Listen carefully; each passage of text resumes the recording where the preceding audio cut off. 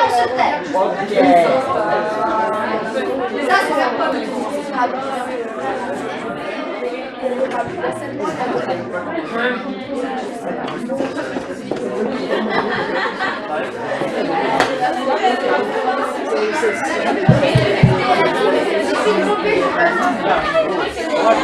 Bonjour à tous.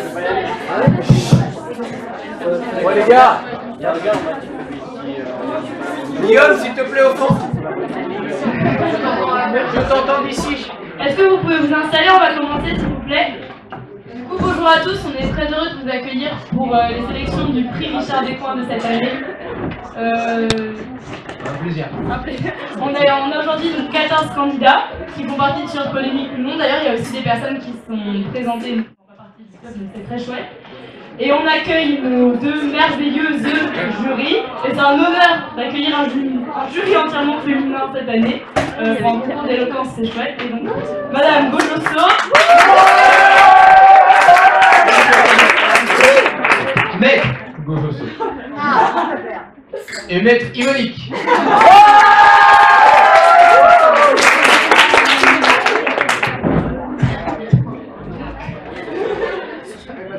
On va commencer euh, tout de suite.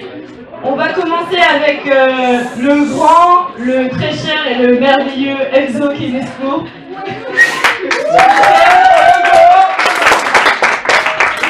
Faut-il enfoncer des portes ouvertes? Oui. Ah oui. À la positive, donc ça veut dire qu'il doit répondre le oui. Oui, il faut enfoncer des portes ouvertes.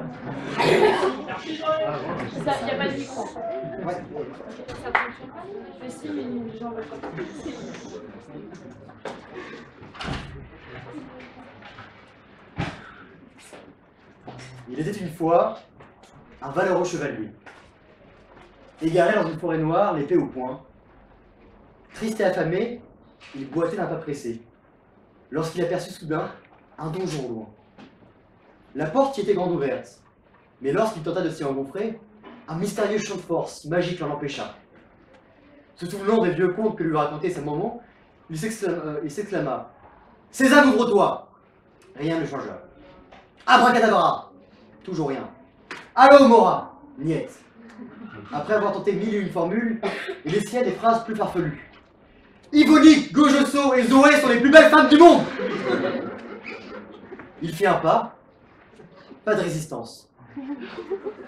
Il venait d'entrer dans le donjon des évidences.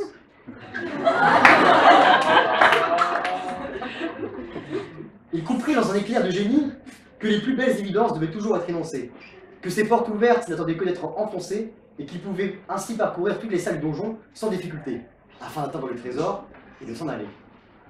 Le chevalier traversa d'abord les salles facilement, beuglant la chanson des évidences que Merlin le chanteur lui avait apprise. Rien à déluder, c'est positif.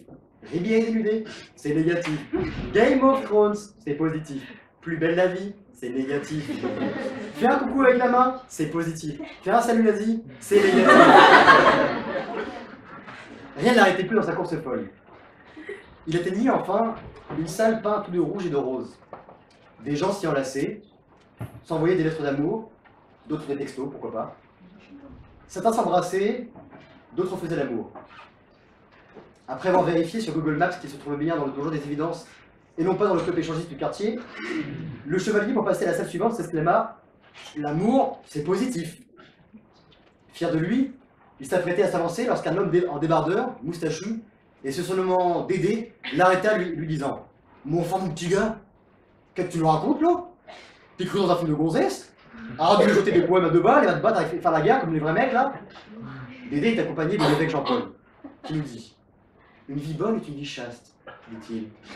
Et comme disait Matthieu, dans le chapitre 5, verset 29, du Saint Évangile, tu ne commettras point l'adultère. Mais moi je vous dis que quiconque regarde une femme pour la convoiter a déjà commis l'adultère, avec elle dans son cœur. Si ton œil droit est pour toi une occasion de chute, arrache-le et jette-le loin de toi. Plutôt que de s'arracher l'œil, le chevalier décida plutôt de l'embrasser et de se jeter ainsi tête première dans l'enfer d'amour qui lui était promis. La salle suivante était bien un enfer. Tout n'était en son sein que désolation. Des enfants mourant de faim, des mères contents et recomptant leurs quelques centimes sans fin, des pères s'arrachant des cheveux qu'ils n'avaient plus, Papa. Naturellement, le guerrier s'écria La misère, c'est négatif. Décidé à passer à la salle suivante, il tenta à nouveau de s'avancer. C'était sans compter un petit rat qui l'a interrompu dans sa course, s'esclaffant. Mais enfin, jeune idéaliste Tu ne comprends donc pas que la misère est inévitable. C'est la loi du marché. C'est le réel, mon cher. En effet, si tu accordes un excédent de salaire X à un groupe d'individus, tu augmentes par ailleurs le X plus 1 la demande, la demande. Ainsi augmentant l'offre de x exponentielle 2 plus 2x, augmentant ainsi le prix du produit de Malheur. Le chevalier venait de trancher par mégarde la tête du rat, avec son épée surnommée matérialisme, et de l'écraser par erreur de son bouclier nommé dialectique. Oups euh, D'ailleurs, Madame Golosso, je tiens à préciser que durant l'écriture de ce discours, aucun mal n'a été fait à aucune créature soit. La quête de notre héros touchait à sa fin. Il se trouvait en face du coffre du trésor, ne lui restant qu'à énoncer l'évidence ultime. Après avoir affronté les cyniques, les pseudo-réalistes qui ont toujours combattu ces phrases niaises, pourtant si nécessaires pour se diriger vers une société heureuse, d'amour, de richesse, il savait ce qu'il devait faire. Il faut enfoncer les portes ouvertes. Le coffre s'ouvrit, ne déversant non pas un amas d'or, mais une simple canne. Il sut alors qu'en sortant du donjon pour affronter à nouveau la forêt obscure, il y verrait clair. Que dans ses chemins sinueux, il marcherait droit, appuyé sur cette canne, appuyé sur ses certitudes. C'est la fin.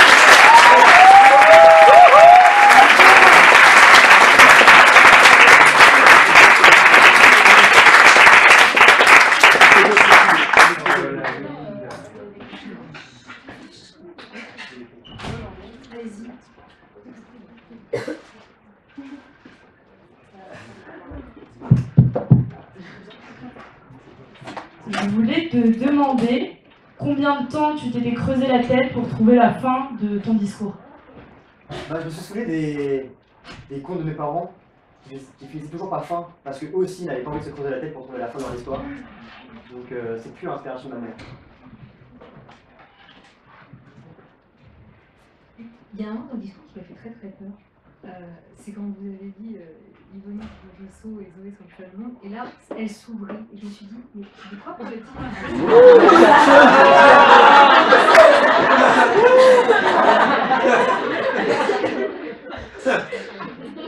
et, et après, au fur et à mesure, j'ai compris, j'ai été rassurée.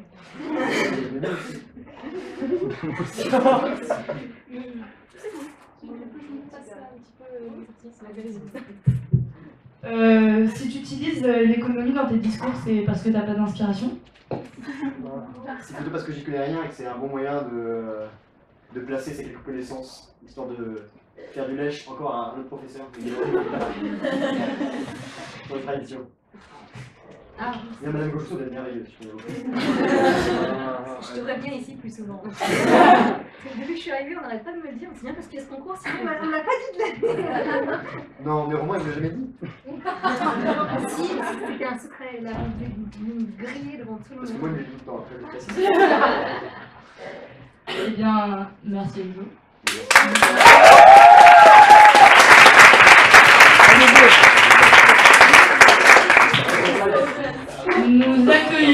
À présent Malo Gaudier à la négative. Non, il ne faut pas enfoncer de porte ouverte.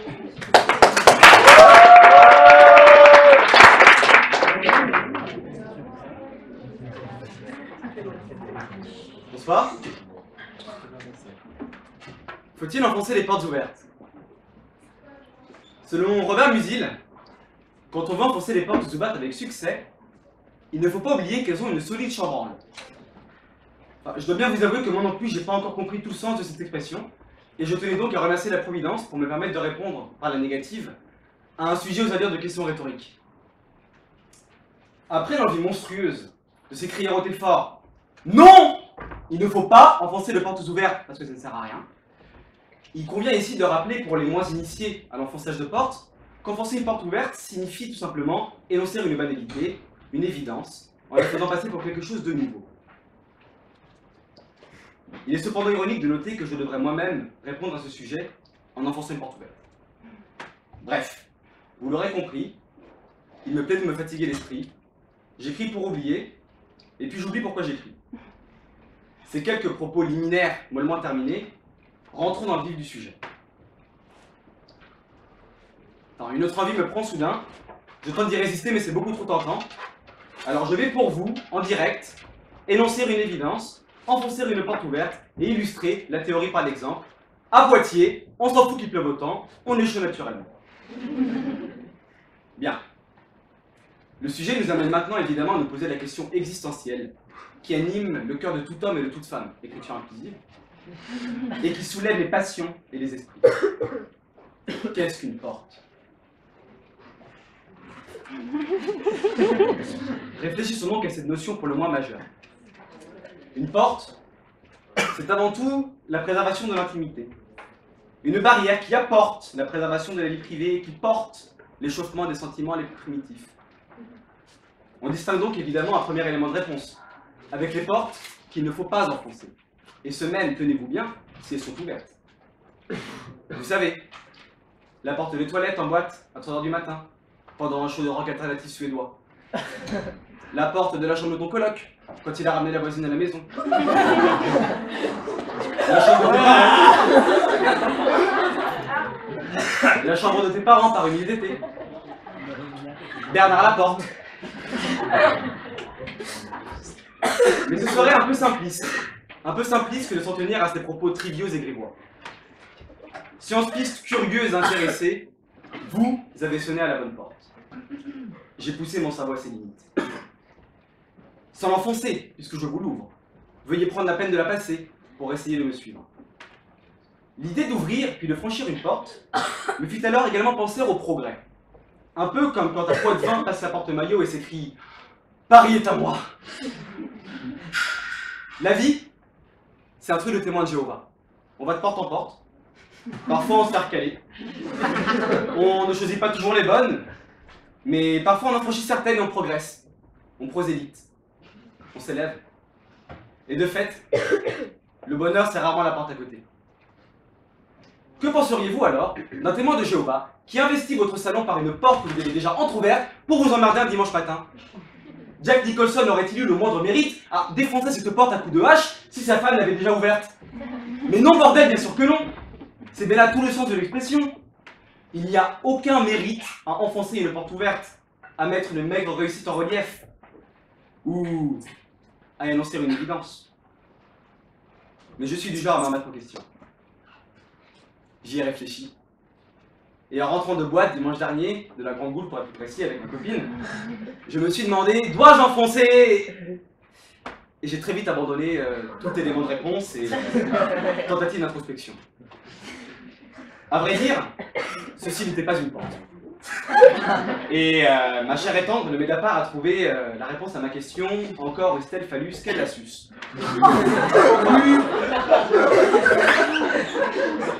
plus sérieusement, plus sérieusement, je continue à construire un solide argumentaire à une question dont la réponse, aussi évidente soit-elle, m'emporte dans les renfoncements les plus sordides de mon esprit.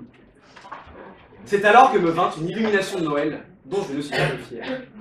Dans l'équation de l'enfonçage de porte, une variable m'était inconnue. Revenez. Bien vous fasse d'enfoncer les portes ouvertes. Encore faut-il les refermer Revenir en arrière. Laisser le passé enfoui. Évoluer. Changer. Mûrir. Ne pas regarder constamment derrière soi. Voilà une alternative que je ne refuserai pas forcément. C'est dans la nature humaine que de sélectionner ses cauchemars.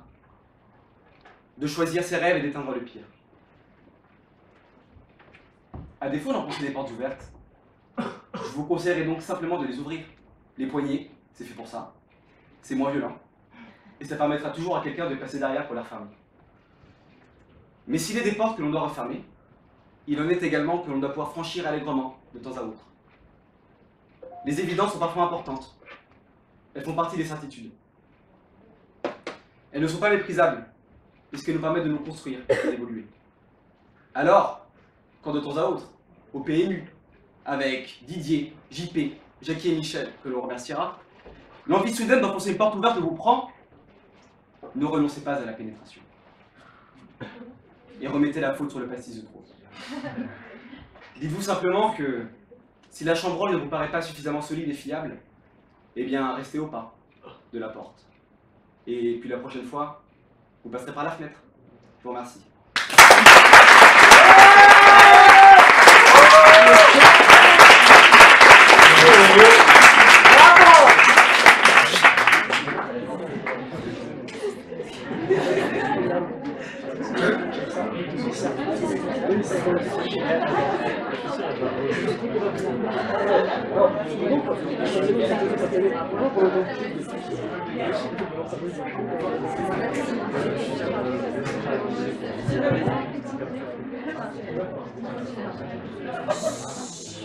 J'ai la voix qui saute. Ça, ça devrait aller. Euh, L'histoire de la voisine, c'est du YouTube. Maîtrisez-vous. Mais vous demanderez à mon colocataire, je pense qu'il me laisse faire le point. Parce que j'ai vu quelqu'un s'enfoncer. La personne qui a vu s'enfoncer n'est pas la mec qui est enfoncée ce soir-là. Alors, euh, s'enfoncer en combien de temps? S'écraser parce que. Euh, donc, c'est du vécu. Euh, et après, j'ai cru comprendre que vous aviez raccompagné votre petite amie, mais que vous n'aviez pas réussi. Alors, je tiens, à- je tiens à mettre le point sur les i. Euh, c'est plutôt elle qui m'a raccompagné parce que euh, j'arrivais pas simplement à ouvrir euh, ma porte. Et, euh, Vous n'aviez pas la et non, fait, en fait,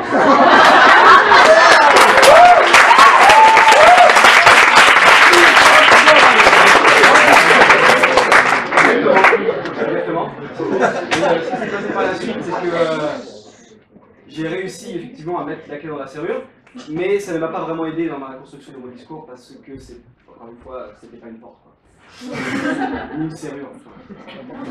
Ça dépend des. On vient pas fort, je suis une grosse perverse. Enfin, on le sait déjà.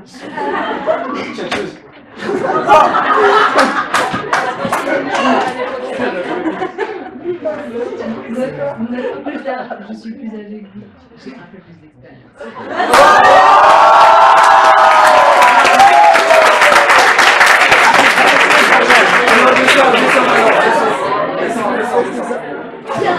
dernière chose, dans du sexe, euh, pour.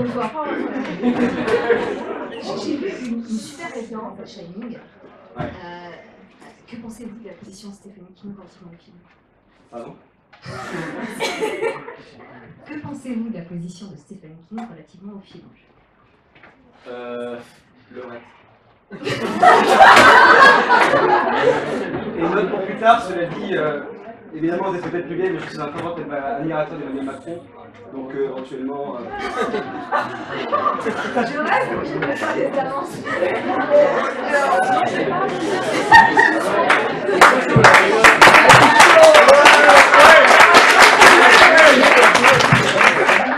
prise de- Euh, Penses-tu que pour tourner les poignets, il faut un coup de main Oh, canaille. Oula. Difficile comme question. Pour tourner les poignets, faut-il un sacré coup de main Alors, c'est pas un secret, mais on voit la position que vous avez. Hein. Ah oui, toujours.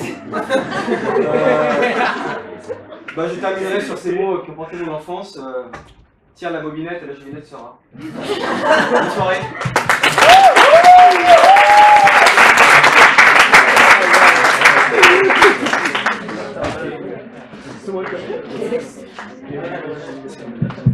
On va donc passer au second sujet qui est prendre de la hauteur peut-il donner le vertige? Et nous accueillons euh, à la positive, donc le oui, Roman Bernard.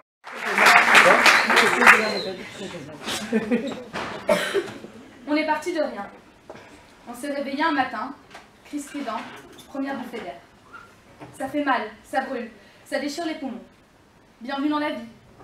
On mesurait 50 cm, 3 kg 2 et 4 poils sur le cahier. On volait pas bien haut. Et puis on se lève, on marche, on apprend, on rit, on pleure, on grandit. Mange bien tes légumes pour devenir grande et forte. Alors on mange nos légumes. Grande et forte, on verra plus tard. Plus tard d'ailleurs, on se retrouve à ne plus manger de légumes. On a abandonné nos belles habitudes alimentaires pour se rediriger vers les féculents. Prépa commerce oblige. Alors on trime, on se cultive, on s'élève, histoire économique, philosophie du marketing, gestion de projets tactiques, ressources humaines stratégiques. Après environ 827 quatre pattes et presque autant de nuits blanches, nous voilà diplômés. On entre alors dans la fameuse et redoutable vie active. Costard cravate, jupe tailleur, ou escarpin, petite mallette en cuir, Rolex et le boutin. On devient sérieux, hommes ou femmes respectables et respectés, on fait partie des grands de ce monde. Bureau en haut d'une tour à la défense, on regarde le commun des mortels dans leur lente et si médiocre danse.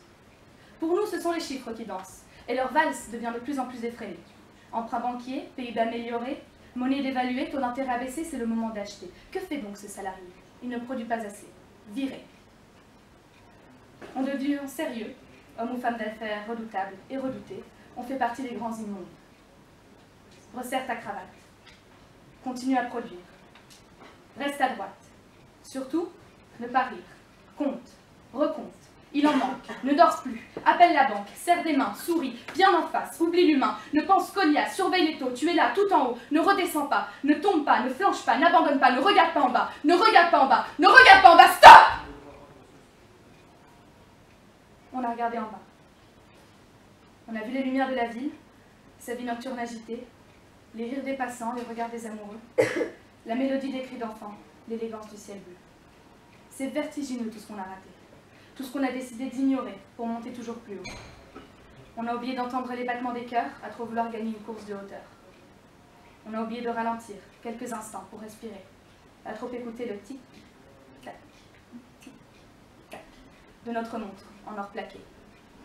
Et nous voilà au bord du vide, réalisant enfin l'abîme de notre existence, prêts à plonger pour ne plus jamais se relever.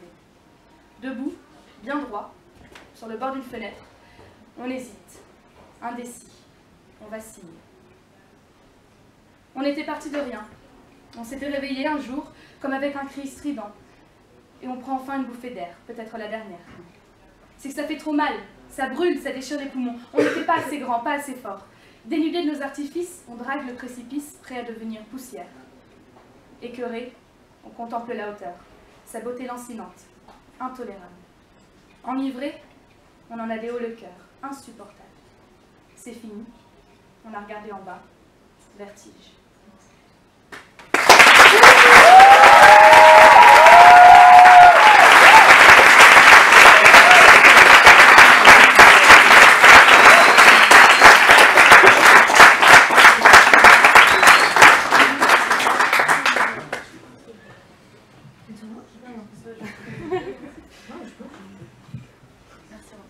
Merci.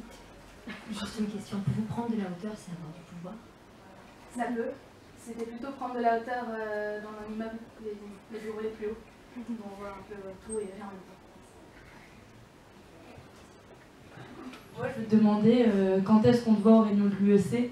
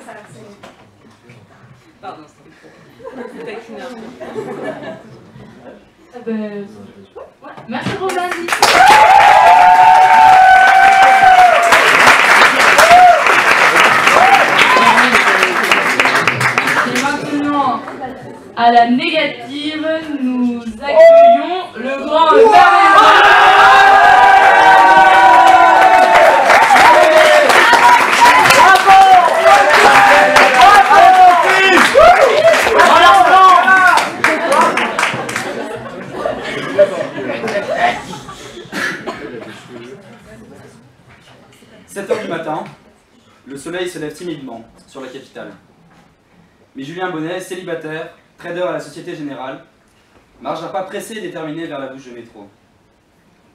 Arrivé sur le quai, il regarde les horaires et grince des dents à l'idée de devoir attendre deux longues minutes. Après avoir frénétiquement tapé 257 fois sa chaussure droite sur le sol, Julien regarde le serpent de fer faire son apparition. Les portes s'ouvrent, et malgré une lutte acharnée, Julien arrive à se trouver une place dans ce métro bondé.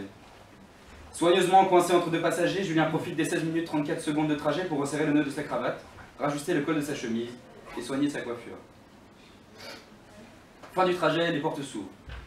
Après une succession de prouesses dignes des meilleurs contorsionnistes, Julien arrive à se frayer un chemin vers la sortie.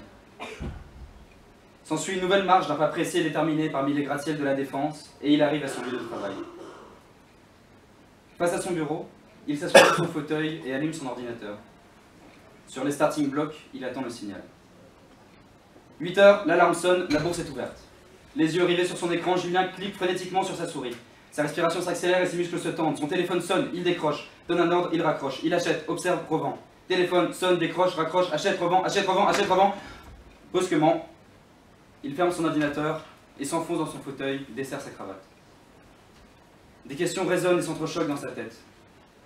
Suis-je à ma place Le temps, c'est de l'argent, certes, mais ne suis-je pas en train de perdre mon temps à vouloir gagner autant d'argent en si peu de temps Dois-je résu- dois-je résumer ma vie et appliquer mot pour mot, œil pour œil, dent pour dent Jouant avec les billets de sang, observant les pourcentages galopants Rapidement, Julien ressent une forte sensation de vide. Ses jambes deviennent lourdes. Sa tête se met à tanguer tel un voilier sur la mer agitée en Bretagne. Sa vue se fait de plus en plus floue. Coupez Coupez, ça va pas du tout.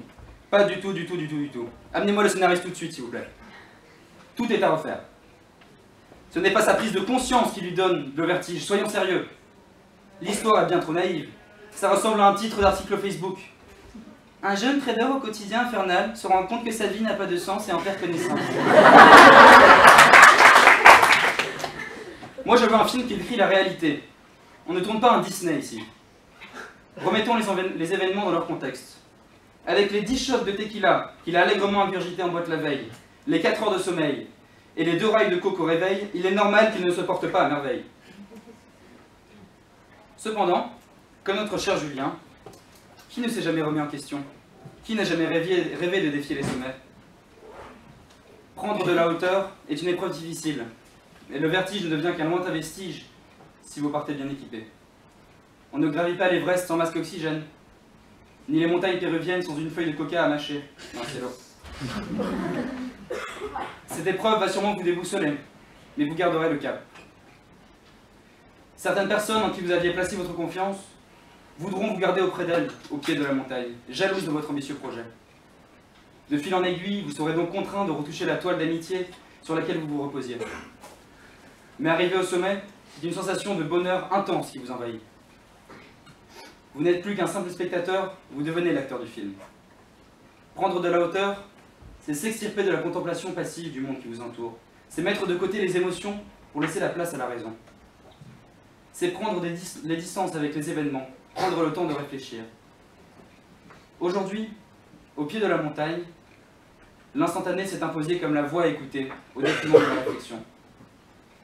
Un philosophe développant ses idées dans une thèse qu'il a pris deux ans à écrire sera moins écouté qu'un vieil homme d'affaires compulsif, à la mèche blonde, réagissant à chaud sur Twitter en écrivant tout ce qui lui traverse l'esprit. C'est en acceptant de subir ce monde de l'instantané que nous nageons en plein vertige. C'est rester posté devant BFM TV toute la journée. C'est partager un article dont on a lu que l'intitulé. C'est tweeter pour s'indigner d'un scandale dont les preuves n'ont pas encore été vérifiées. Il faut sortir de ce quotidien infernal, se mettre à l'écart de cette géante course effrénée, ralentir le pas, s'asseoir sur le bas-côté, souffler et regarder cette meute, cette meute courir à plein poumon, tous dans la même direction, sans savoir où ils vont. Prendre de la hauteur est un véritable marathon. Cependant, au fur et à mesure que l'on grimpe sur le flanc de la montagne, les, vertiges se dissipent. On se sent apaisé, car on a enfin accès à une vision juste et distanciée du monde qui nous entoure. Je dois tout de même vous le confier, j'ai ce soir légèrement le vertige. Mais cela n'a aucun lien avec les 50 cm de hauteur que j'ai dû monter pour accéder à ce pupitre. Non, ce qui me déstabilise, c'est simplement la présence à mes côtés d'une grande figure du barreau de Poitiers, avocate réputée au cabinet Gallet. Je vous conseille de le visiter. Maître Gojosso, j'espère ce soir avoir été, avoir été à la hauteur de vos attentes.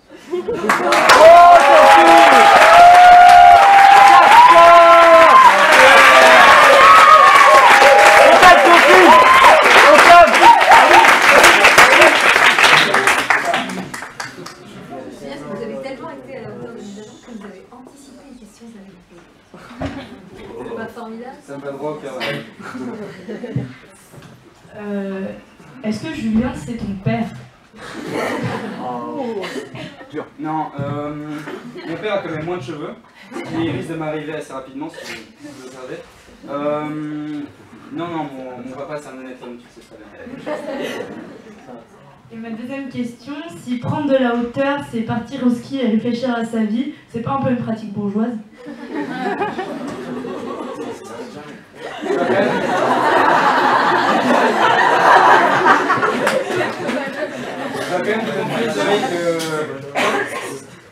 t'as mis le doigt sur quelque chose de, de très vrai parce que tu risques de me taper sur les doigts après, mais mon père est en train d'organiser un week-end de ski de randonnée pour.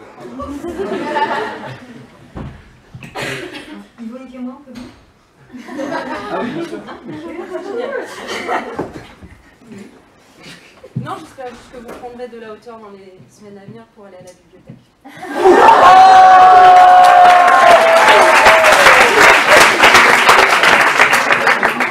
Il faudra que vous me guidiez parce que je connais pas le chemin pour y accéder. On était ensemble. Faudra le prendre par la main parce qu'il se perd. Ce sera un honneur que vous me preniez par la main, madame.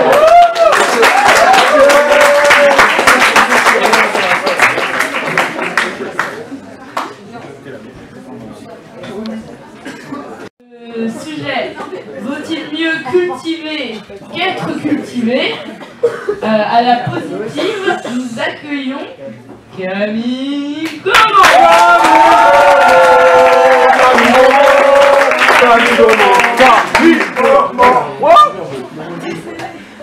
C'est le jingle.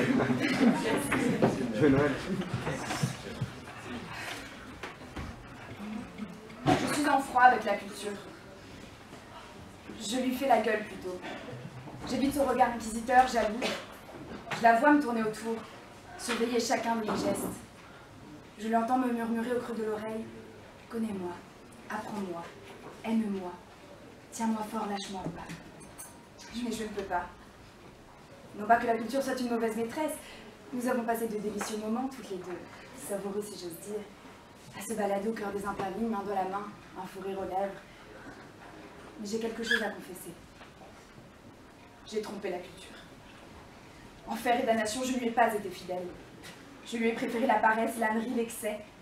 Je lui ai menti, lui ai fait croire que j'étais d'une intelligence lumineuse, alors que je sais simplement faire bon usage de Wikipédia. Merde, à la fin, je lui ai dit que je parlais couramment l'espéranto. Mais ne le dites pas à la culture. Elle ne le sait pas encore. Elle n'a jamais vu que j'étais un imposteur. Si elle me découvrait, grand Dieu, c'en serait fini de moi. Fini de mon brillant avenir, de mes projets, de mes projets fous, de mon ego surgonflé. Je suis gonflée, je sais. Laissez-moi lui faire des coups en douce, avoir des coups et boire des coups. Un jour, je lui reviendrai. Oui, un jour, je lui avouerai tout, je lui dirai Je suis allée voir ailleurs, Miranda. Oui, la me- s'appelle Miranda, je sais, c'est un petit peu déstabilisant au début. Miranda, je suis allée voir ailleurs, mais ne m'appelez pas. Nous avons mal commencé, toi et moi. Je ne me suis pas montrée à toi telle que j'étais véritablement. Je t'ai fait croire que j'avais déjà eu des aventures, que j'avais un minimum d'expérience. Mais je suis vierge, Miranda. Je suis vierge et je n'y connais rien. Je ne suis pas cultivée, non. Et je crois ne l'avoir jamais été. Pardonne-moi, accepte-moi quand même. Je, suis, je désespérée, mais je ne suis peut-être pas un cas désespéré. Que croyez-vous qu'elle me répondra? Oh, ma vue se trouble, ma gorge brûle à l'idée qu'elle me rejette. Je veux croire en malgré tout. Je veux croire qu'elle me laissera une seconde chance. Qu'elle me dira Tu n'es pas cultivé, mais peut-être peux-tu te cultiver? C'est cela. Il me reste une possibilité, une marge de progression. Je peux encore cultiver mon esprit, ma raison, mon jardin, à votre guise. En ayant une histoire avec la culture, je me suis persuadée qu'il fallait que je sois cultivée, érudite même. Mais même les savants sont des singes. Entre nous, jamais je n'aurais réussi à être aussi cultivée que la culture. Après tout, peut-être que ce que Miranda apprécie en moi, c'est mon potentiel. Potentiel, c'est le mot. Mes trêves de plaisanterie et de discours languissants. Je vous laisse, j'ai un couple à aller sauver. Thank you.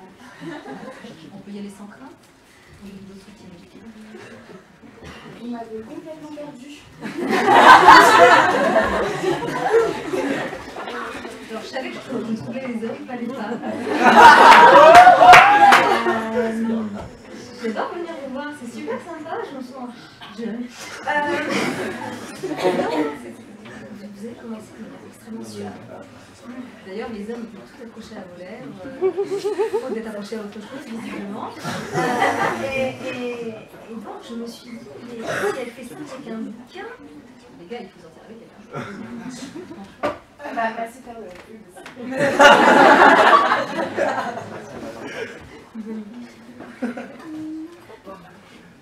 Elle est très bonne, vous pouvez faire Je passe en bibliothèque, reste en bibliothèque. Je comprends mieux pourquoi Théo met chez les pieds. Avec la culture, t'es-tu bien amusé Merci Zoé. Oui, parce que je vais être un peu vulgaire, mais dans le futur, il y a que. Avec un C, je suis désolée. Bah, c'est ça.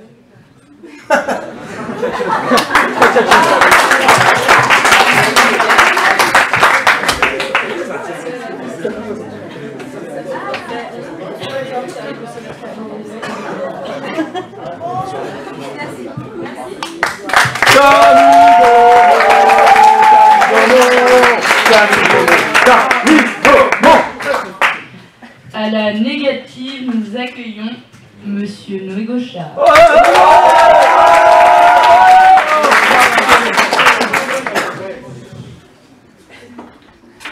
Pour être cultivé, il ne faut pas faire de la culture son métier. Je cultive ou je suis cultivé.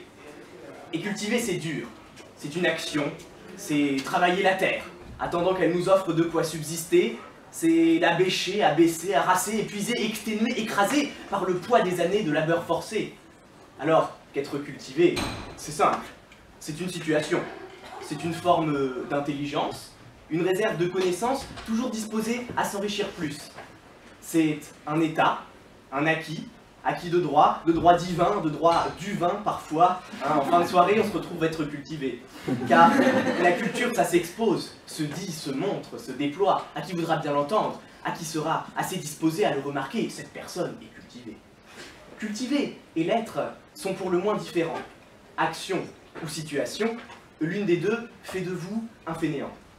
Cultiver.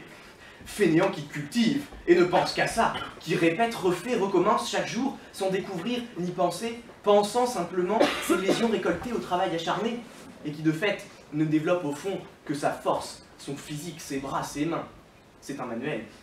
Le sang, la sueur qui abreuve ses sillons, qui suit d'ailleurs, sans question, lui trace une vie bien droite, polie et plate. Chaque jour, parallèle au précédent, les graines du destin, jamais jetées au vent, toujours ramassées, puis ressemées, replantées sans espoir d'en avoir quelque chose de nouveau. La plante est la même, la recette aussi, ainsi la vie suit. Ah, ses mains sont fortes, c'est certain, hein, fermes, cailleuses, disposées à la tâche, entraînées à cultiver, il est vrai, mais qui ne saurait bouger sans le cerveau. Le cerveau qui, on le sait, par un long et complexe mécanique scientifique, que je ne vais pas développer ici, non par manque de temps, mais parce que je n'en ai cure, fait bouger les mains. Et l'intellectuel, lui, cultive son cerveau. Car le cerveau fait bouger les mains, pour autant, on n'a jamais vu de main faire bouger des cerveaux, autres que ceux des autopsiés. Alors, l'intellectuel n'enrichit son cerveau jour après jour de nouveaux savoirs et peut ainsi réfléchir et s'en faire valoir. Il réfléchit, invente et crée, innove et donne à sa vie un sens. Il la fait changer et grandir tous les jours. Et alors il vit vraiment dans le dépassement, le dépassement de soi. Vaut-il mieux cultiver qu'être cultivé? Non, évidemment. Cultiver ne prévaut pas sur être cultivé. Ce sont des activités bien opposées. L'intellectuel lit, consulte, parcourt, feuillette et apprend. Le manuel travaille, trime, travaille, œuvre et travaille aussi. Quand un intellectuel réfléchit, un manuel se salit. Quand un intellectuel pense, un manuel danse. Et quand un intellectuel agace, alors c'est un manuel.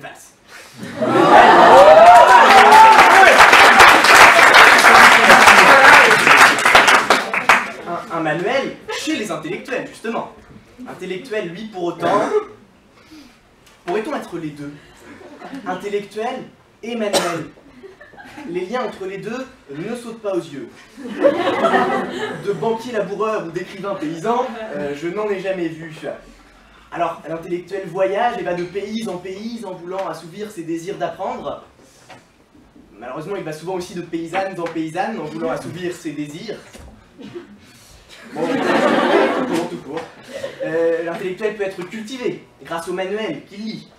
Et le manuel peut cultiver grâce aux intellectuels qui l'aliènent. Bon, les liens sont difficiles à trouver, euh, mais personnellement, je suis prêt à les chercher, je n'ai aucun préjugé, je suis pas élitiste. J'ai moi-même un bon ami qui, un jour, a travaillé.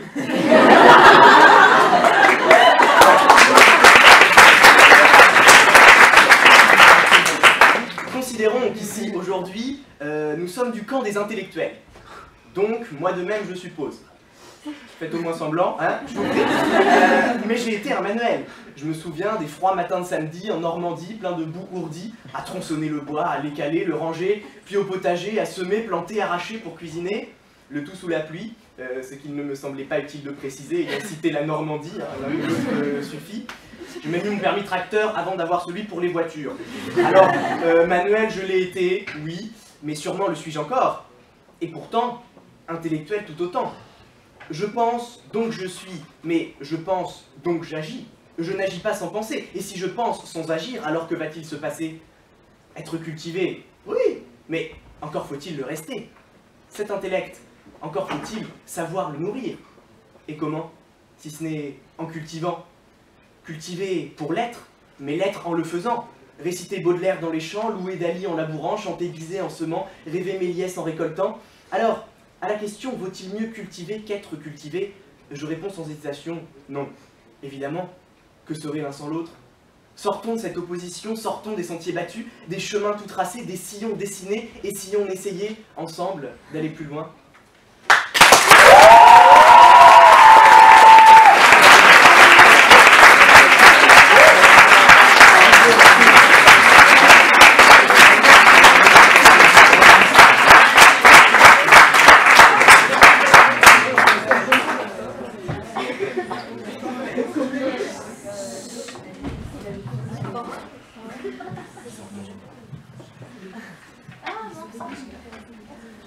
Vous instaurez une dichotomie entre euh, manuel et intellectuel et je me demandais si seuls les manuels savaient utiliser leurs mains.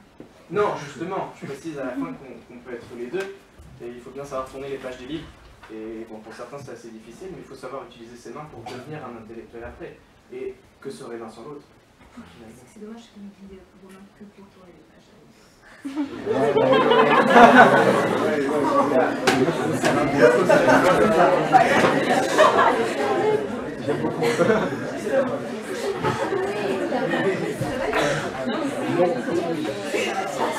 mais il l'a dit lui-même.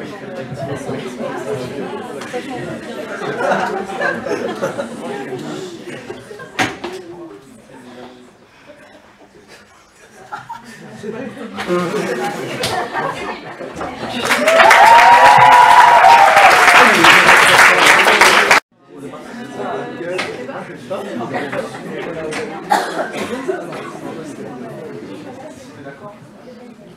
euh, la, nous, nous, sur le. Un, deux.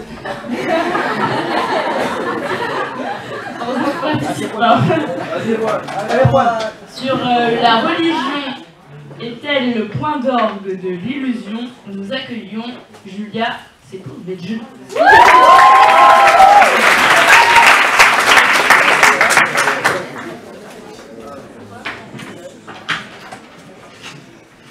Ma mère m'a dit une fois, le communisme soviétique n'a pas fonctionné parce qu'il n'a pas compris que les gens ont besoin de religion. À l'époque, je n'étais probablement pas d'accord. J'étais une athée convaincue. Je suivais des pages d'athéisme sur les réseaux sociaux. J'entrais sans cesse sur des débats sur l'existence de Dieu dans les commentaires d'articles et tous les religieux me paraissaient bêtes.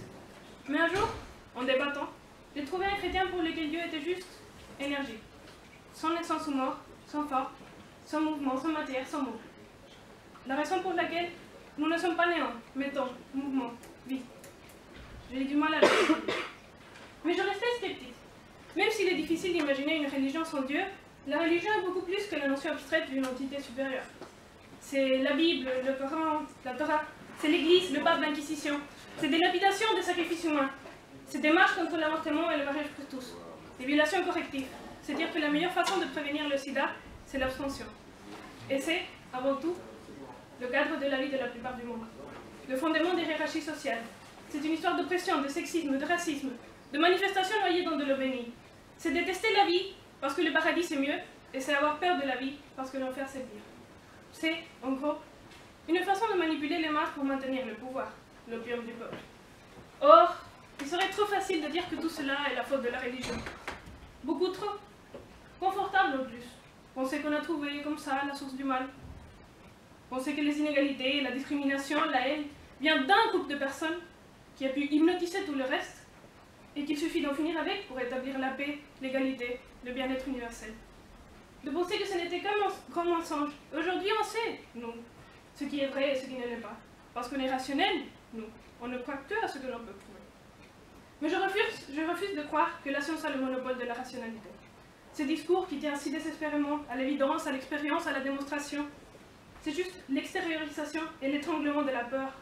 La peur du peu que l'on connaît la réalité. De à quel point notre quotidien fut construit par nous-mêmes. À quel point nous nous trompons, nous aussi. Quand l'être humain naît, son cerveau paraît une lampe à plasma. Il est plein de connexions neuronales qui vont dans tous les sens, aléatoirement. Il est ainsi sensible à tout. Au fur et à mesure qu'il grandit, les connexions qui sont le plus souvent utilisées se maintiennent et les autres disparaissent.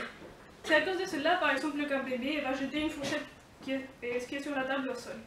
Il apprend que si un objet n'a rien de solide dessous, il se dirige vers le sol, il fait du bruit. Et si après on remet la fourchette sur la table, il va le refaire, parce qu'il a besoin de confirmation, de s'assurer que ce n'est pas une coïncidence, un peu comme un expériment scientifique a besoin d'une multiplicité de sujets pour être plus légitime. Notre perception de la réalité est donc un apprentissage. Notre cerveau apprend à interpréter des sensations, à voir ce qui fait partie d'un patron et négliger le reste. Mais la nature n'est pas la seule éducatrice. La société l'est aussi. On pourrait penser à comment les constitutions qui précédaient les mouvements féministes n'étaient même pas nécessaire de préciser que les femmes n'avaient pas un droit à vote. Dans la réalité, c'était juste pas possible. De la même façon que pour nous, il n'est pas nécessaire de préciser que les animaux ou les intelligences artificielles ne l'ont pas. Dans ce sens, ce n'est pas que nos narratives, nos façons d'interpréter le monde, nous font voir des choses où il n'y a rien, mais plutôt que nous aveuglent sélectivement. Aujourd'hui, par exemple, le pourcentage d'attentats terroristes commis par des musulmans est utilisé pour justifier une discrimination. Or, personne n'utilise le fait que plus de 90% des attentats sont commis par des hommes pour leur interdire, l'entrée un pays. Même pas pour bafouer une certaine conception de la masculinité. Parce qu'à la fin, nos narratifs nous font voir la réalité d'une façon, mais cette vision nous fait aussi la construire. On pensait que les hommes étaient ineptes. On ne les éduquait pas, et de cette façon, on ne leur permettait pas de prouver le contraire. Ou, en pensant que les immigrants sont tous de voleurs, on les marginalise, on leur nie des opportunités, et on les met dans les situations de ministère qui favorisent ce comportement. Alors, je corrigerai ma mère. Les gens n'ont pas besoin de religion, on a besoin d'histoire. La Bible peut donc être lue comme un livre de fiction parce que la réalité est une fiction. La narrative de la religion était la réalité sociale du moment parce qu'on habite le monde qu'en lui donnant un sens. Et ce sens est toujours une sélection. D'autant plus que la religion nie l'absurdité du monde en avançant Dieu et non pas la science. La religion est le point d'orgue de l'illusion parce que la réalité elle est, mais parce que la religion est une réalité à laquelle on ne croit plus. Peut-être justement parce que nous nous sommes rendus compte que nos narrateurs sont humains. Après avoir vu la lune, on regarde le doigt qui la signale. Ou peut-être nous avons découvert de qui était favorisé par cette narrative. Mais à qui favorise notre narrative actuelle? À qui favorise le fait de penser le marché comme un organisme vivant qui ne dépend pas des hommes, qui peut s'autoréguler À qui favorise le fait de penser que le monde peut être sauvé par des super-héros, des individus, et non pas par des communautés? À qui favorise le fait de penser que la laïcité, c'est interdire le symbole religieux de l'être De penser que le terrorisme, c'est à cause de la religion et non pas à cause de la tyrannie? Aujourd'hui, à qui favorise le fait d'oublier que nos narrateurs sont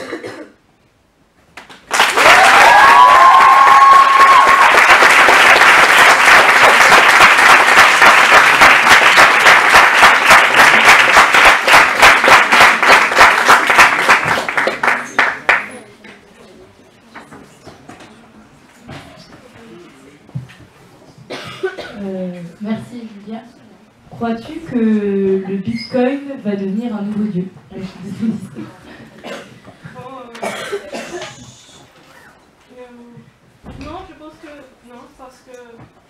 Bon, théorie, le bitcoin, c'est. C'est tous qui, vont, qui nous allons le, le décider. Mais en même temps, comme l'argent est un bien aujourd'hui, peut-être que, que ça le monde le comprendra.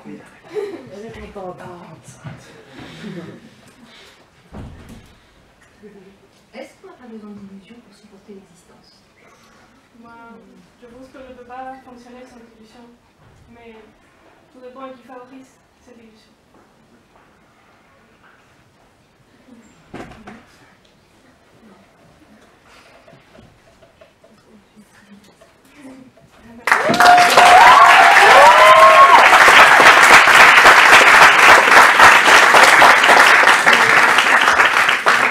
À la négative, nous accueillons Nicolas Nepesau.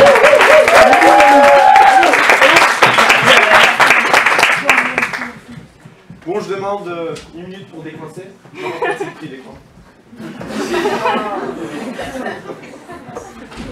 La religion est-elle le point d'orgue de l'illusion La religion est l'opium du peuple, dit l'homme vénéré par ceux qui crient la coca.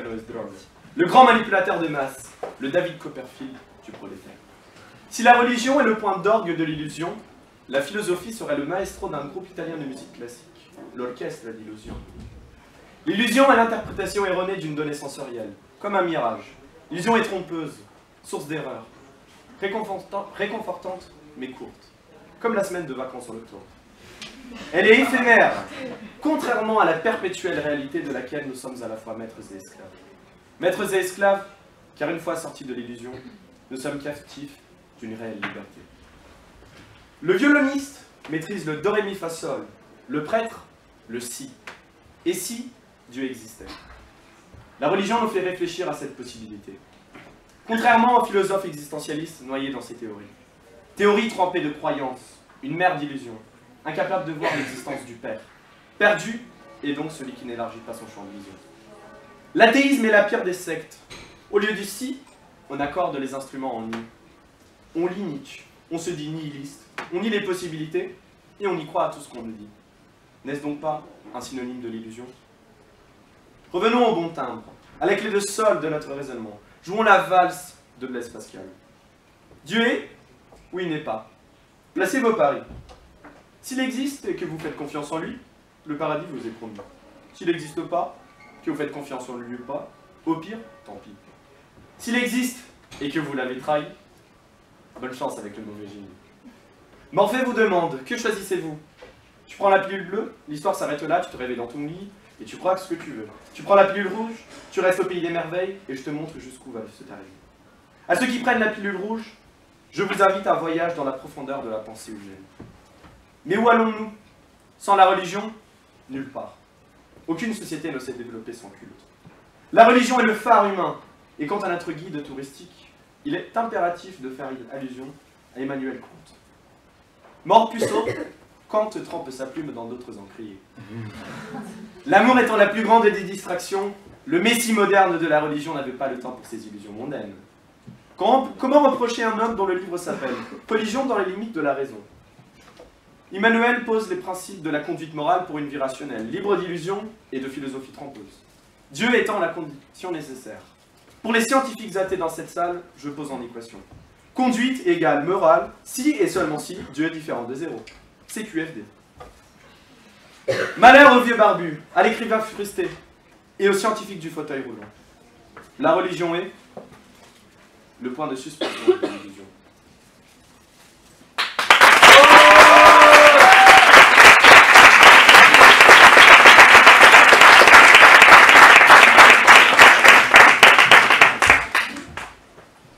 C'est difficile.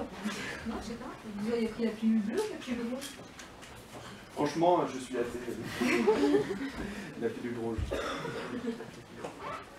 L'illusion ne vous guide jamais Bon, euh, disons que si on vit dans le capitalisme et on dit que le marché fonctionne, c'est déjà une belle illusion. euh. Désolé, non.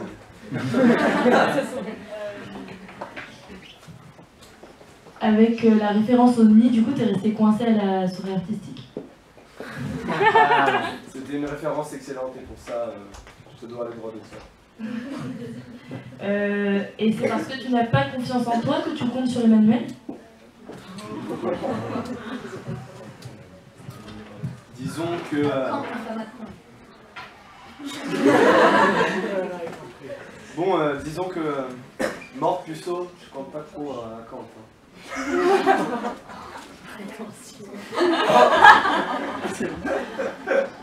Est-ce que tu pourrais me donner les dates du concert de l'orchestre dont tu parlais. L'orchestre de Illusion. Là, là.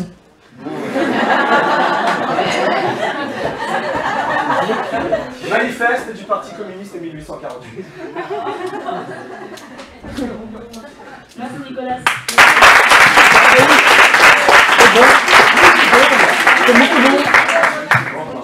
Alors, sur le sujet Cupidon a-t-il plusieurs cordes à son arc Nous accueillons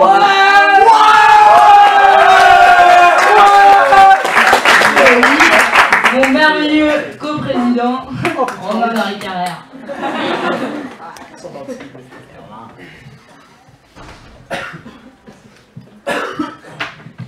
Face à l'amour, il y a plusieurs écoles. Ceux qui préfèrent en rire, plutôt que d'en pleurer. Puis ceux qui n'y croient plus, qui sont désabusés. Ceux qui voudraient y croire, contactent de rêveurs, alors que Cupidon les juge d'un air moqueur. Ceux qui croient en des codes, nos chars traditionnels, ou ceux pour qui l'amour ne peut être que pluriel. Et les indifférents, les tristes ou les marrants.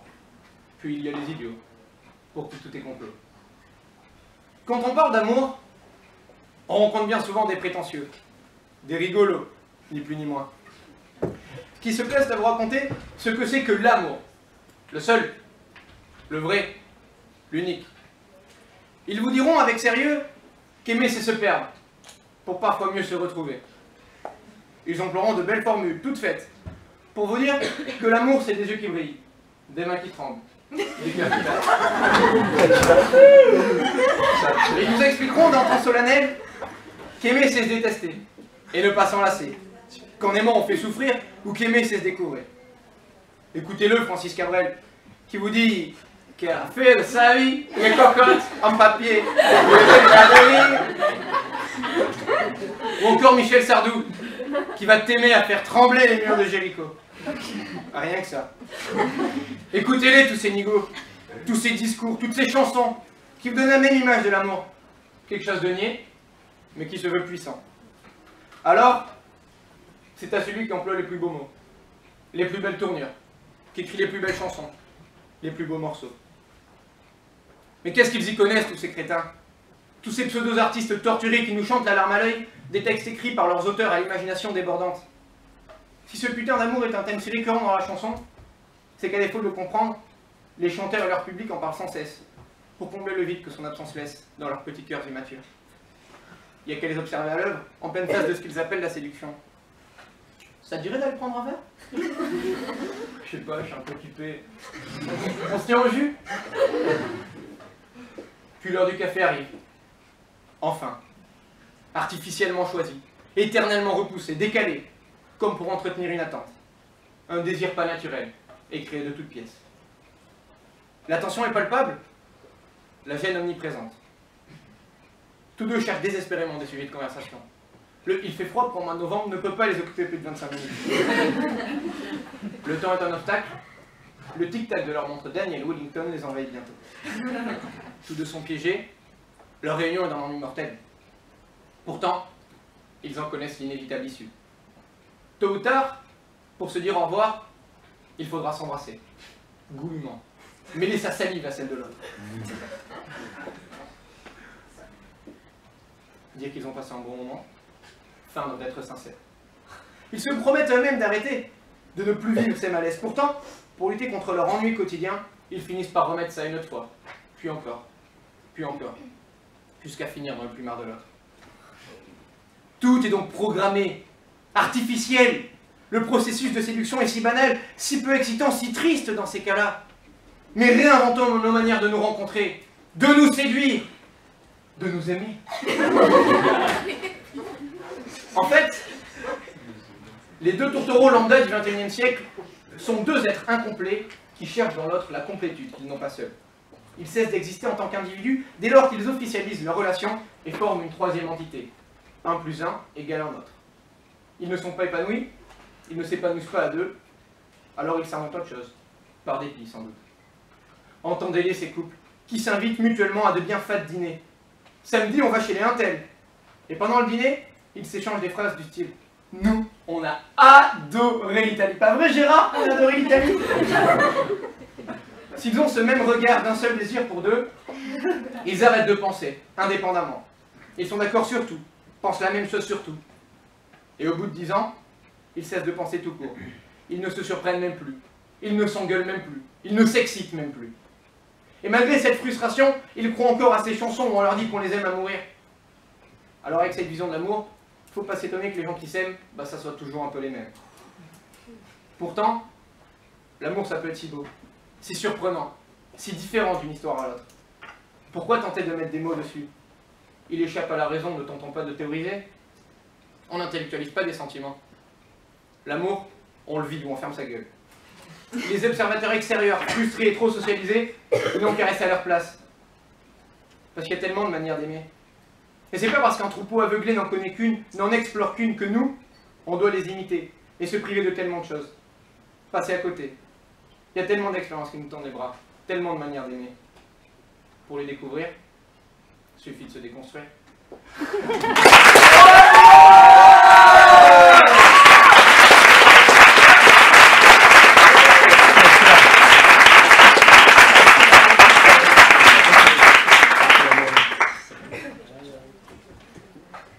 C'est terrible parce qu'avec vous, euh, être amoureux, c'est se tuer, c'est se nier, c'est et c'est n'avoir qu'une expérience, c'est un peu triste. Deuxième chose, euh, vous écoutez pas les bonnes chansons. Moi j'ai comme, j'ai comme modèle Luna, donc euh, je vous la lune si vous voulez. Oh putain merde. Je vais vous envoyer un lien de musique qui sont bonnes. Euh, j'ai pas compris. Vous parlez d'un rendez-vous autour d'un café. C'est pourri et pourtant ça fait quand même joli. Bah, il y a misérable tout autour, donc euh, faut se, on se replie sur ce qu'on a, quoi. Ah d'accord, non j'ai pas trop ému, elle est bien. C'est sympa quoi. Moi j'ai une petite question. Euh, debout comme ça, habillé en bleu, à 19 ans, tu te crois plus malin que Michel Sardou? En tout cas, je suis plus vivant que Johnny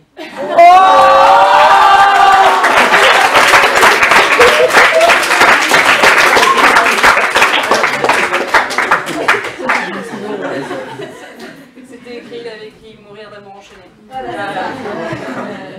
Euh, Euh, tu nous parles d'amour, je vois une relation ambiguë avec quelqu'un dans cette salle.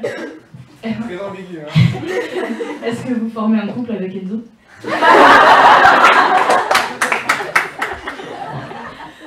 Couple euh, 2.0, ouais. Mais il est parti en plus, il est même pas resté pour moi. Bon,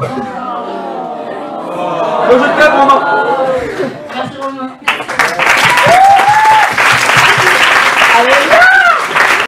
Et ça, il a demandé par ordonnance. Oui, notre cher président de la République utilise des méthodes directement inspirées d'un empereur.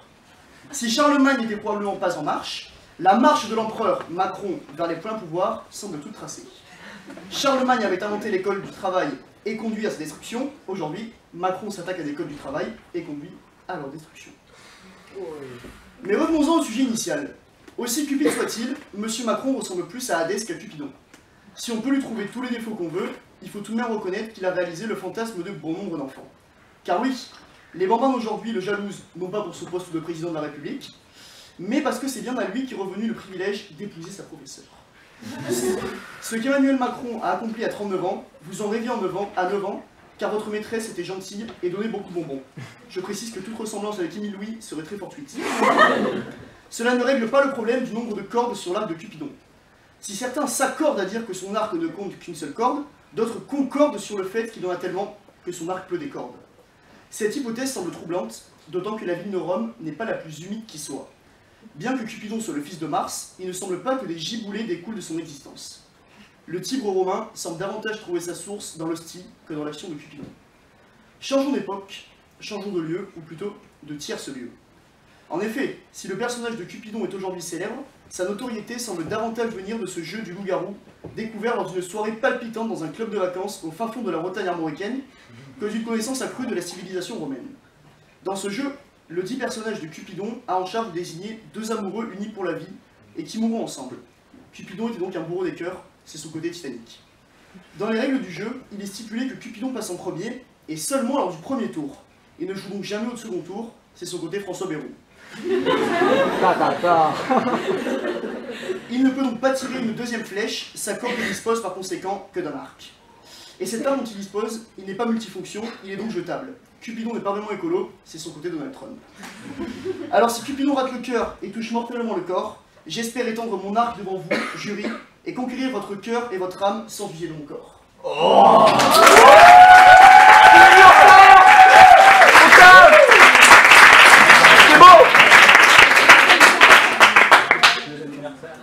Qu'entendez-vous par fondre votre âme Ah. Qu'est-ce que j'entends par fondre mon arc J'ai pas besoin de faire un dessin, je pense.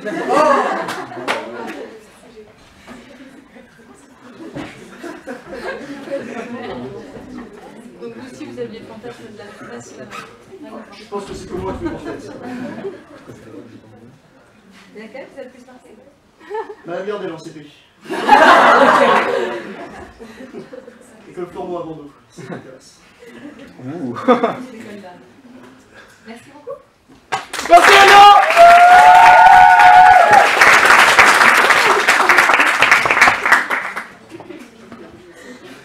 Alors,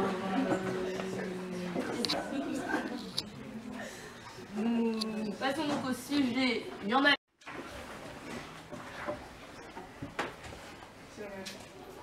Juste pour dire que je réponds.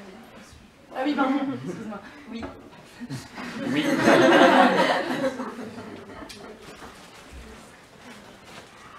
Un, deux. Un, deux. Tic, tac, bim, bam. Pied droit, pied gauche. Manger, dormir, naître et mourir. Penser, s'assoupir. La vie semble guidée par ce monde binaire qui n'est désormais qu'un calvaire qui fait écho de façon répétée dans nos esprits rythmés. Homme, femme, joie, tristesse, désir, paresse, le feu sans la flamme et l'eau qui la pluie, l'ennui. Être ou ne pas être, l'enjeu semble réduit. Le jour et la nuit sont depuis le début des temps le père et la mère et nous sommes des enfants. La morale, la politique, l'art, la critique, certains pourront dire que l'échelle des gris est bien plus subtile que ce que nos yeux peuvent parfois percevoir. Cependant, quand on ferme les yeux, c'est le noir. Et je ne suis pas certaine que tous les hommes qui traînent le soir dans les rues désertes de toutes les villes de ce monde binaire pensent ni à la politique, ni à la morale. Peut-être pense-t-il à l'art, mais sans porter vers lui qu'un regard méfiant. L'échelle des gris, c'est l'échelle du temps. Tic, tac, bim, bam, big, bam, l'univers recommence. Un homme, une femme. Deux hommes, deux femmes. Dans ce monde si petit se produisent pourtant des miracles géants. L'amour, aussi éphémère, aussi éphémère qu'il est, change les perceptions carrées. L'amour, c'est souvent entre deux, mais parfois entre trois, et puis peut-être quatre ou plus, euh, pourquoi pas. Mais être seul, c'est agréable. Être seul, c'est agréable. Mais le tourment silencieux des esprits est puni par la folie et les inquiétudes. Être deux, c'est être sûr. Nos cœurs battent souvent en couplets de deux. Boum. Silence. Voilà le troisième, le méfiant, le timide, la musique hybride qui sort du tempo 4-4. Partout, les paysages s'immobilisent. On est planté. Silence. Nouveau-né, hurlement de bébé. Ils étaient deux, ils sont trois. Et puis voilà. Si tout d'un coup, les humains se contentaient d'être 203, je suis plus que certaine que nous ne serions pas là. Encore un gamin sur ce monde euh, agréable, bizarre, triste, injuste. En effet, quand il y en a deux, il y en aura sûrement un troisième. Mais pourquoi? Pourquoi c'est impératif? Pourquoi ne pas se contenter des duos? Faut-il vraiment chercher le bonheur dans la reproduction inutile des erreurs de nos ancêtres? L'amour, la vie sont beaux au début. Mais une fois que le malheur arrive, on est seul et lui, il est contre nous. Même à deux, les disputes semblent la dialectique inhérente au contact humain. Car pourtant, si on a deux mains, ce n'est pas pour nous étrangler tout seul. Alors, je vous laisse les miracles. Les naissances. Le troisième. La meilleure amie, la solitude, me comprend mieux que moi-même.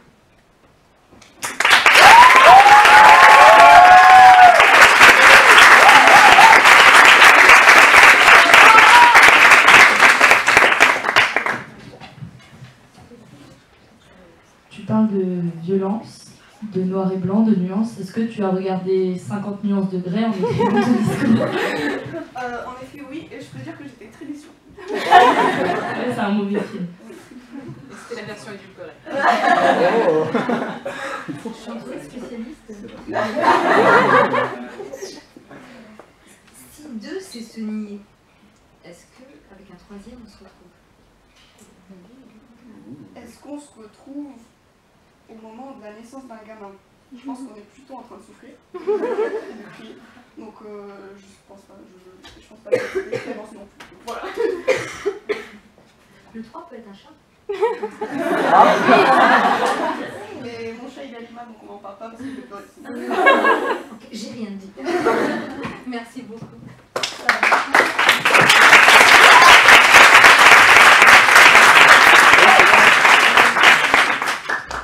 Nous accueillons donc notre ultime candidat. Tout le monde est passé, mais c'est bon, normalement.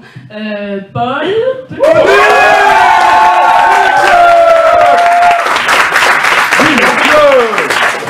Répondre, euh, non. Y en a-t-il jamais 203 Non. Voilà. Le 6 novembre 2017, à 15h30. C'est le troisième échec consécutif. Il a bien du mal, le soldat petit, avec ses mathématiques. À sa droite, son voisin, doté d'un humour douteux, sans doute en provenance de par où les poules ont les œufs, tente un réconfort rationnel. Ah, tu sais, euh, comme on dit chez nous, jamais 203, hein Eh bien non. Non, à partir de ce soir, il n'y aura plus jamais de 3 après un 2. C'en est fini de la domination du fatalisme et du diktat de l'évidence. Soyons francs, dire jamais 203, c'est accepter, c'est subir, c'est cautionner. De façon plus triviale, c'est avoir le pantalon baissé et se laisser enfiler. Alors oui, je le sais, mes positions peuvent paraître radicales, et surtout ici, où nous étudions la région berceau de l'évidentialisme. Et oui, rappelez-vous ce, ce leader, ce penseur, que dis-je, ce philosophe sans lumière qu'était Morales. Poussant le raisonnement à son extrême, l'homme aura théorisé la doctrine du jamais 304, avec sa célèbre maxime « plus j'ai de mandat, plus on rit ». Malheureusement, moi, je ne suis qu'un humble science-piste. Toujours vouloir prendre le contre-pied, s'insurger, s'offusquer, être outré fait donc partie de ma nature, parce qu'au final, c'est toujours bon de critiquer. N'ayant aucune prétention moralisatrice, ce discours n'a pour unique vocation que de vous être délicieusement désagréable. Je vous rassure, cher public, cher jury, à aucun moment vous ne vous sentirez visé. Si vous en doutez, dites-vous bien que je parlerai toujours de l'idiot d'à côté. Mais revenons-en à notre sujet. Jamais 203. Expression courante et populaire qui voudrait nous faire croire que tout est déjà écrit. Elle serait facile dans ce cas la vie. Pour la contester, je pourrais très bien énumérer une série de grands principes qui sont mis en cause aujourd'hui. L'égalité, la tolérance ou la démocratie. Pas besoin d'aller chercher si loin. Le premier des hipsters l'a dit un jour, avant de regarder la paille dans l'œil de ton voisin, regarde la poutre qui est dans le tien. Qu'est-ce qui pourrait être évident ici? Sciences Po a besoin d'esprit libre, nous dit-on. D'esprit ouvert et qui s'intéresse à autrui. Pourtant, passer les deux minutes d'intérêt exotique que suscite la discussion avec un méthode anciennement colonisé et qui nous rappelle la grandeur de notre Europe passée, on finit par se lasser. La troisième minute arrive rarement et on préfère la rentabiliser au baby ou à la machine à café. Attention, gardez-vous bien de dire qu'ici on est franco-français. C'est un secret qu'on m'a promis de ne jamais révéler. Qu'on m'a fait promettre, pardon, de ne jamais révéler. En plus d'être loin d'être évidente, on peut se demander si l'évidence est seulement souhaitable. Je m'explique. Il est tard ce jeudi soir et pour vous vider la tête après ce ramassis de conneries qu'on vient de vous déverser avec Sciences Polémiques, vous décidez d'aller au bar. Au bar, justement, cette fille que vous connaissez bien s'est déjà pris une réflexion. Puis vient une main aux fesses. Puis deux. Vous qui êtes tranquillement en train de siroter, qu'allez-vous dire? Allez, hein, jamais 203. Les mots engendrent la réalité. Dire jamais 203, c'est accepter, c'est subir, c'est cautionner. La boucle est bouclée. Finalement, souvent, on préfère fermer les yeux. Après tout, c'est toujours plus facile de tourner la tête et de s'en aller, plutôt que de s'interposer. Alors, cher public, cher jury, je n'aurai qu'une chose à vous dire. Ne vous contentez plus de la médiocrité et résistez. Cessez de vous prendre les coups et rendez-les. Arrêtez d'être ce petit binoclard qu'on tabasse pendant les cours de récré. Ne re- refusez toujours les trois qu'on vous propose après les deux. Accordez-vous le droit de choisir, le droit de vivre. Choisir la vie, c'est dire si, c'est pouet. C'est crier, bien que je ne sois pas asiatique, je peux réussir mon partiel de mathématiques C'est rejeter la fatalité, c'est construire sa propre destinée. Alors oui, on aurait très bien pu finir ce discours euh, sur cette touche d'optimisme, mais cela aurait été un manque d'honnêteté. Celui qui se tient devant vous ce soir, qui à vouloir être irrévérencieux finit bien souvent par être prétentieux, et qui vient de passer 5 minutes à vous expliquer qu'il fallait refuter le jamais 203, a failli à ses principes. En effet, depuis le début de l'année, c'est déjà le troisième discours de ce que je vous présente, construit de la même manière et fondé sur la même critique. Moi aussi, j'ai choisi la facilité. Pardonnez-moi donc si ça faisait recycler. Merci beaucoup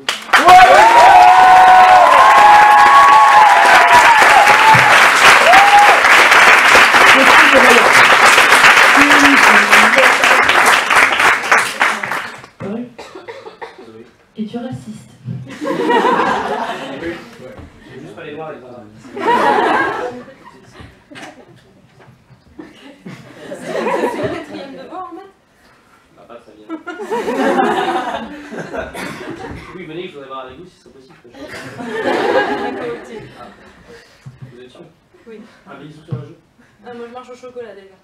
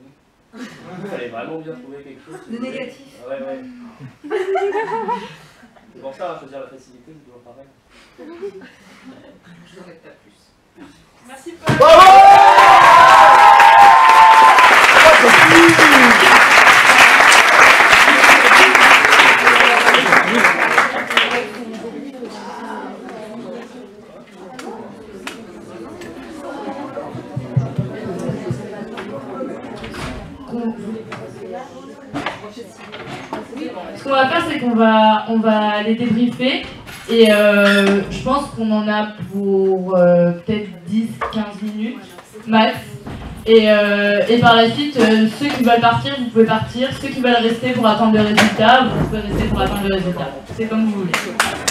Sciences politiques, vous pouvez rester.